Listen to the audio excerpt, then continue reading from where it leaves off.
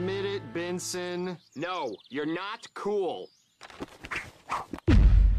How about now, Benson?